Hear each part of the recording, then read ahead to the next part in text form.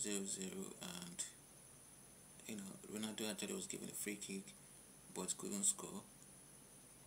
And you know it just seemed like watching Ronaldo actually well go down the you know rail after everything that you know he has actually done.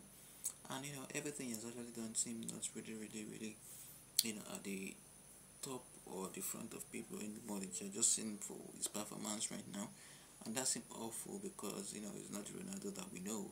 Because tries as much as he put his club. Either you know winning the cup or you know closer to winning the club and the cup. And right now you know is good they are going on while you know uh, Spain or France actually you know qualified to the next stage.